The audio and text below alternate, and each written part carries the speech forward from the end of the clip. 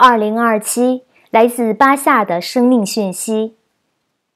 一个意识。提问：好的，我的心说，我想选择。回答：啊，当我在说话的时候，至少在这一刻，我是在对你们全体说话。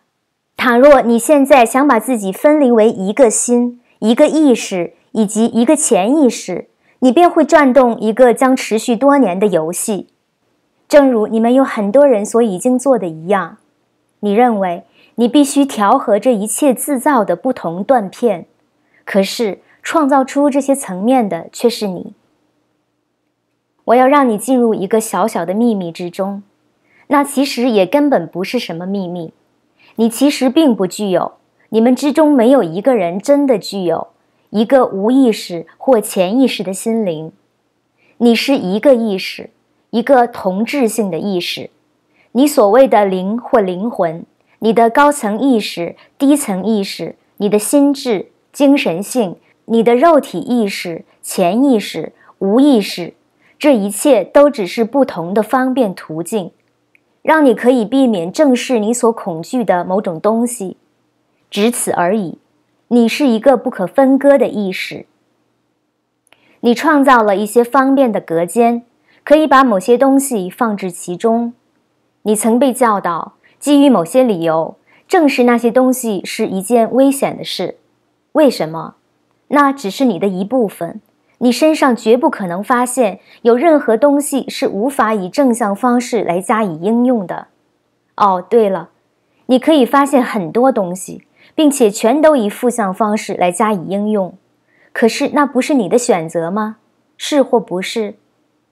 如果不是，那么你为什么不假设你拥有同样的力量，可以决定如何应用在自己身上所发现的东西，如同你也拥有同样的力量，可以决定以正向方式来加以应用一样？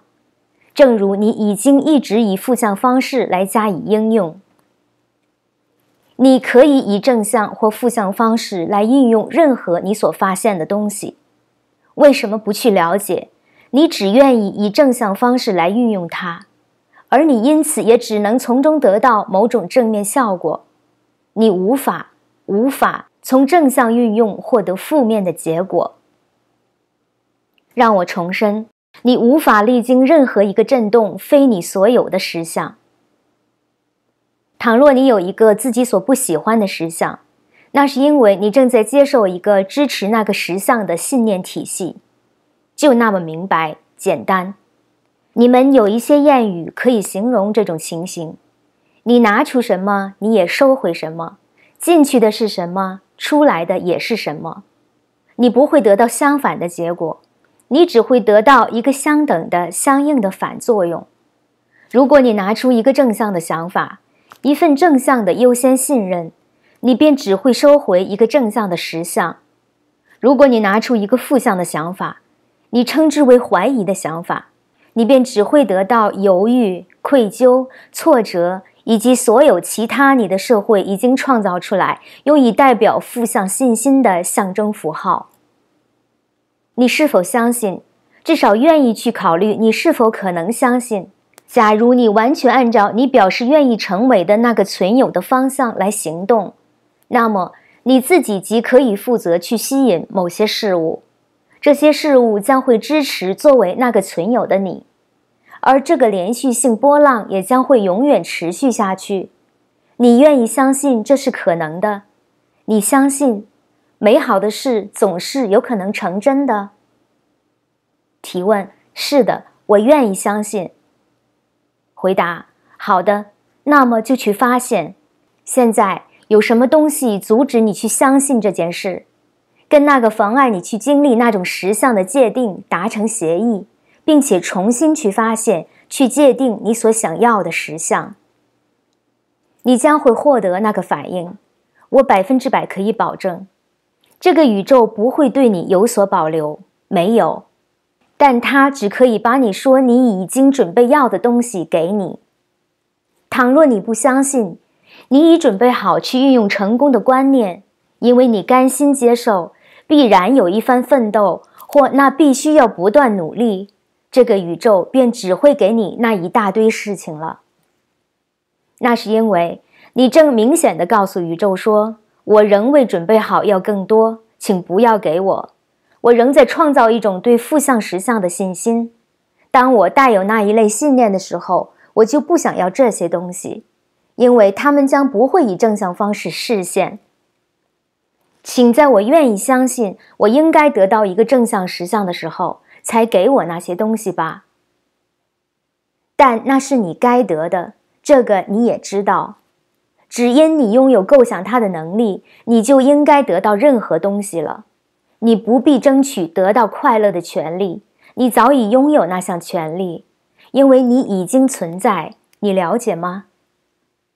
提问：我听了你的话，而且真的愿意相信。信心门槛，你正站在一道信心的门槛上。你正探索那道门槛，你所真正愿意去相信的东西，对你来说是可能的。聆听那种你用以表达它的语言，它将指出你的信心门槛在那里。只要那道信心门槛现在就端端正正地藏在你心中，你便将会经历自己所渴求的生命。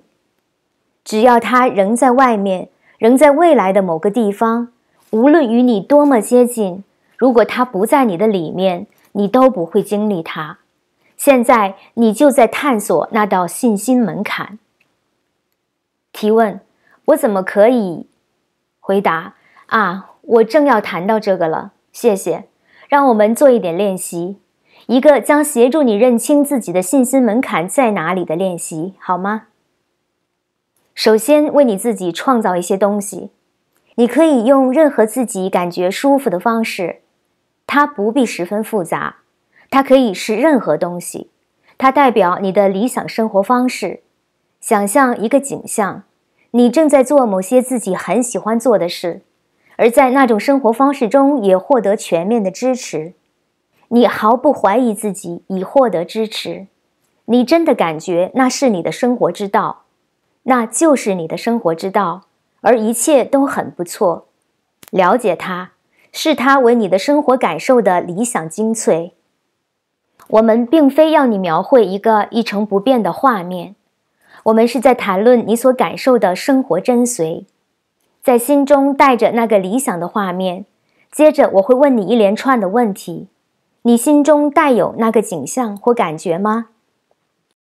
提问：有。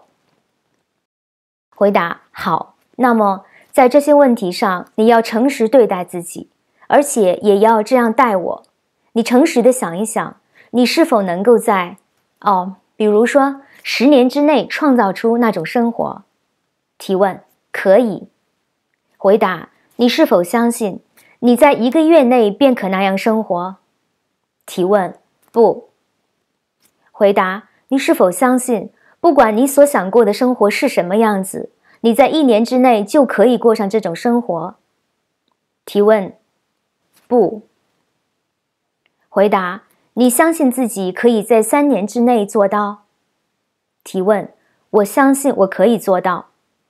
回答：好，你可以确定你真的可以这样感觉？一年？提问：可以，只要我全心全意那么做。回答：好的。你为什么不那么做？为什么一定要专注在自己所不想做的事情上？提问：我想，我认为自己必须照顾很多别的小环节。